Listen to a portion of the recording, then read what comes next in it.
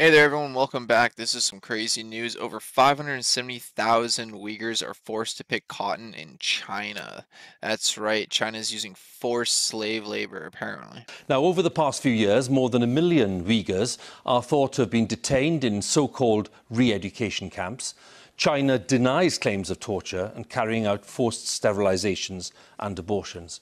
That's right. So if you didn't know, China's been detaining all these people, millions of people, taking them to re-education camps, and apparently there's claims of them being tortured, uh, desterilized so they can't have children, as well as having like forced abortions and stuff. A giant re-education camp. But more recently, something else has been built next door.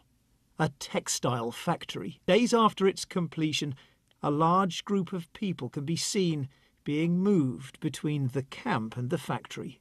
So based on this evidence, they're claiming that they're taking people from these re-educational camps and taking them and putting them over to the textile factories and forcing them to work to make shirts, clothing, shoes, all sorts of different stuff. Like this is insane and against human rights. Like why isn't this like all over the news and like a serious issue? More than a million Uyghurs and other traditionally Muslim minorities are thought to have been swept into the camps. But each year, more than two million others are being gathered for something else. That is very creepy. Okay, so every year a million Uyghurs get put into re-educational camps to be re-educated, and then another around 2 million of them go missing for something else, which they have no idea where they're going, like where they're going or what's happening. That's every year a million to two million of these people that are just disappearing. Giant new factories and textile mills, hundreds of them, where they face strict controls and political indoctrination. The first thing our workers have to learn is to love the Communist Party. Go figure. And I was just actually looking up China on Google Maps. And when you actually go into like the desert and all these different rural areas, there's like all these different new buildings and mass buildings and structures. And it does look like concentration camps. Oh, I mean re-educational camps. But now the BBC has seen evidence that shows Uyghurs are also being sent en masse into the cotton fields. Which doesn't make any sense to me because there's videos of China using all these big massive machinery to harvest the cotton, which would be a lot easier and simple. So I don't know if that's true or not.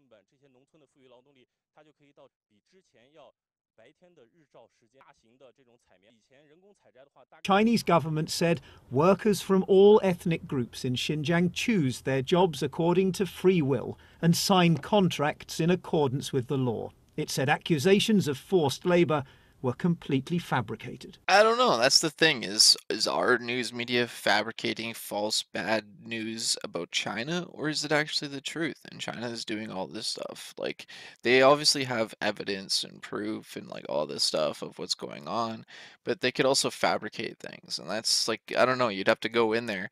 Like if China wasn't fabricating or lying, they should just allow these reporters just to go in there and investigate and check everything out. And now because this is saying UK business businesses must wake up to China's cotton slaves.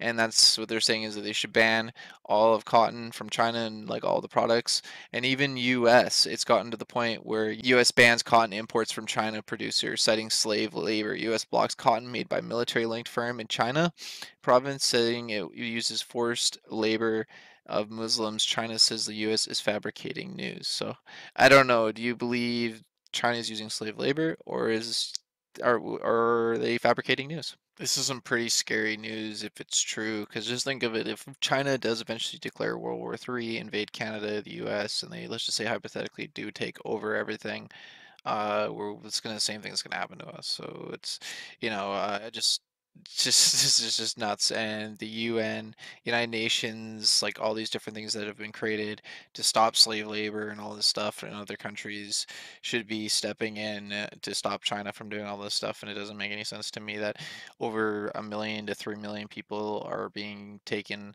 and forced to ed- re-educational camps and nobody knows what's going on in there and I don't know it just I just came across all this news and it just shocked me so I just thought I'd share it with all of you let me know your thoughts and opinions about this in the comments below. Please share it with your friends and family so they're aware.